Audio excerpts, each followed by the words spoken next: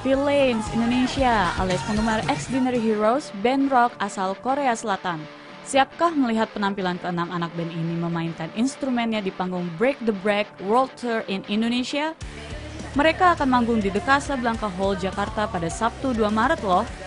Extraordinary Heroes beranggotakan Gunil sebagai leader dan drummer, Jungsu keyboardist, Gaon rhythm guitarist, Oat synthesizer, Junghan gitaris, dan Juyeon sebagai bassist. Mereka tidak sabar memberi kejutan untuk Villains Indonesia dengan penampilan yang memukau besok. Tak sabar bertemu penggemar di sini, para anggota Extraordinary Heroes memamerkan kemampuan berbahasa Indonesia dalam konferensi pers di Jakarta Jumat 1 Maret. Terima kasih. Terima kasih.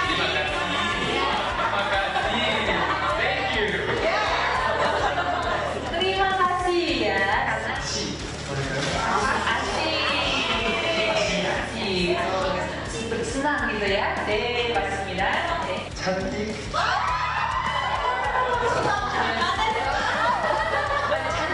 하니까 엄청난데요 여성분들 빌런즈 인도네시아 잔디. 사양감은 어,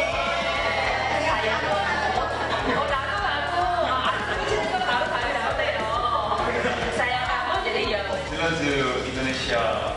Aku katakannya. Oh, aku kakak kalian, deh. Oh,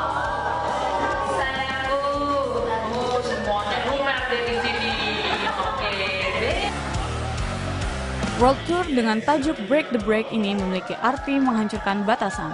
Mereka berjanji akan tampil semaksimal mungkin seakan tidak ada batasan. Besok, mereka akan membawakan sekitar 25 lagu dari album pertama hingga terbaru. Dari Jakarta, Stianka Arpiana, kantor berita Antara mewartakan.